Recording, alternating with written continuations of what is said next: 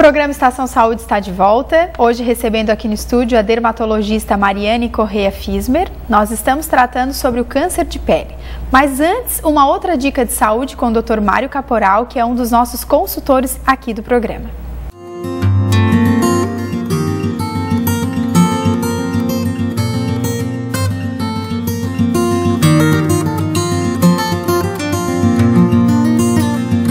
Nunca é demais a gente sempre alertar a mulher deve fazer a sua prevenção anualmente. Independente do tempo, a partir dos 40 anos de idade é preconizada uma mamografia por ano. E toda mulher deve fazer o seu exame rotineiro através do exame médico, através de uma prevenção da palpação da mama mensalmente e também ficar alerta quanto ao hábito alimentar, quanto àquilo que ela usa, o tipo de atividade que desenvolve. Porque muitas vezes o estresse, o fator emocional, pode ter influência no desencadeamento, muitas vezes, de uma lesão adormecida na mama.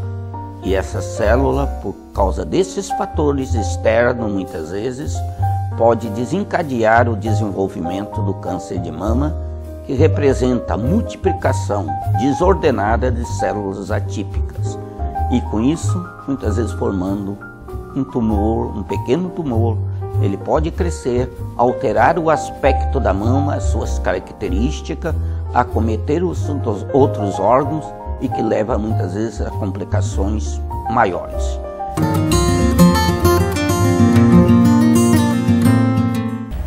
Falar em saúde é falar da Ecoclínica, que há 30 anos atua no diagnóstico por imagem.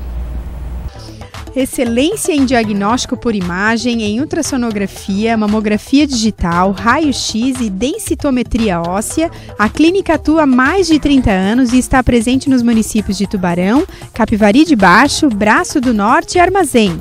É também a única clínica do setor a receber o selo nota 10 da Vigilância Sanitária. A Ecoclínica também possui equipamento moderno para ultrassom 4D. Você, futura mamãe, pode ver com detalhes como está o desenvolvimento do seu bebê e ainda já saber características físicas. Ecoclínica investindo na saúde para melhor atender os pacientes. Mais informações e agendamentos pelo telefone 3622 2355.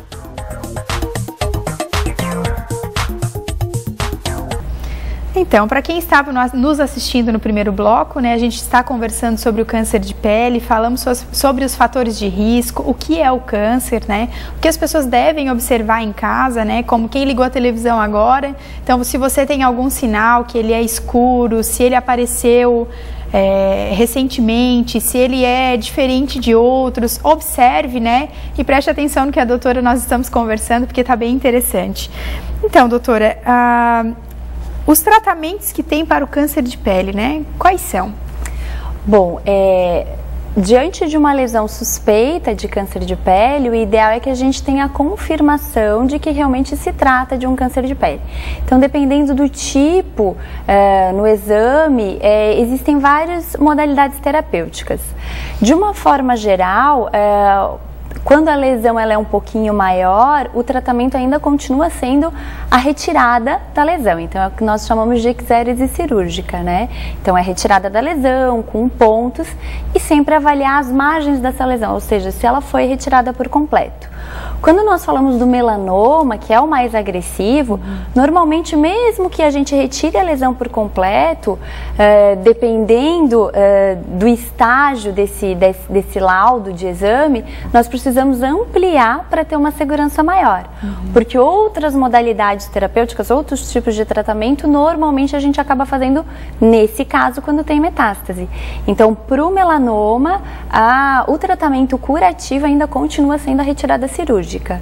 Quando nós falamos do carcinoma basocelular e espinocelular, que são tipos de câncer que não metastatizam com tanta frequência, ou seja, não se espalham com tanta frequência, aí dependendo do tipo desse, desse do subtipo desse câncer, nós temos a terapia fotodinâmica, que acaba sendo a aplicação de um produto e a aplicação de uma lâmpada para eliminar essa lesão.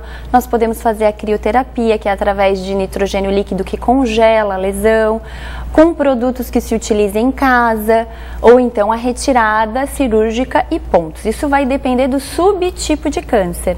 Na maior parte das vezes, o tratamento curativo continua sendo a retirada cirúrgica. Mas no caso, para fazer esses tratamentos que podem até ser feitos em casa, necessariamente tem que tirar um pedaço para fazer biópsia? O ou... ideal, sim. Quando nós clinicamente já temos a certeza desse diagnóstico, muitas vezes a gente já parte para o tratamento uh, tópico. Mas uh, o ideal, do ponto de vista academicamente falando, é, seria nós termos a certeza do exame anatomopatológico que se trata de um subtipo específico de câncer de pele para que se possa fazer aquele tratamento. Porque às vezes se ele já for um pouquinho maior, o ideal já é fazer a retirada. Então vai depender dessa análise mesmo. E nessa retirada, como é que fica a parte de, de, cicatrização? A gente sabe que isso é muito individual, cada pessoa tem a sua cicatrização, né? Mas é uma cicatriz que, que deixa marca, como é que fica? Depende do tamanho da lesão. E quando nós falamos em, em, em tratamento para câncer da pele, nós visamos uh, primeiramente uh, resolver o problema. Então, a cicatriz que muitas vezes fica uh, inestética, que a gente chama fica ruim, é, seria um segundo ponto. O ponto mais importante no momento do tratamento é a resolução daquele problema, deixando a cicatriz, caso ela aconteça de uma forma ruim, para um segundo momento. Por genético, já que hoje em dia tanta coisa é adquirida geneticamente, né? Se a pessoa tem um melanoma, uhum. é possível que outras pessoas da família possam ter? É. Como nós falamos anteriormente, um dos principais fatores de risco é a exposição solar. Mas principalmente na questão do melanoma, a história familiar conta muito. Então, é, tanto é mais é, frequente a pessoa que já teve um melanoma poder ter um novo melanoma, né? Então, se a pessoa teve diagnóstico de um melanoma, é, ela tem uma chance maior de ter um novo melanoma. E uh, história na família. Então, pessoas que já tiveram familiares com melanoma uh, têm uma chance maior de, de aparecimento desse tipo de câncer. E a gente sabe que a melhor forma de se proteger do sol é usando protetor solar, né? Gostaria que a senhora falasse um pouquinho para nós sobre ele, assim, a importância, né? É, o protetor, eu acho que é interessante nós comentarmos em relação à reaplicação, que às vezes é onde muitas pessoas pecam, vamos dizer assim, e também uh, um, um outro equívoco é que a gente aplica o protetor e acha que está imune ao sol. Né? Então, ah, eu estou com o protetor e eu posso me expor, ficar muito tempo exposta. E não é assim, né? A gente sabe que dependendo do número do protetor, ele vai proteger por um período de tempo delimitado, né, determinado, mas mesmo naquele período em que ele estiver protegendo, um pouco da radiação continua passando.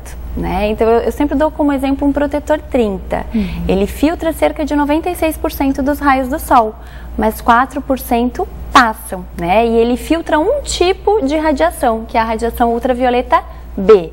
O outro tipo, que é ultravioleta A, nós temos outros produtos nos protetores que acabam filtrando também. A gente só não sabe o quanto ela é filtrada. Diferente do da ultravioleta B, que a gente já tem essa certeza um pouquinho maior. Eu aguardo vocês no próximo bloco. Fique ligado com a gente porque está bem interessante.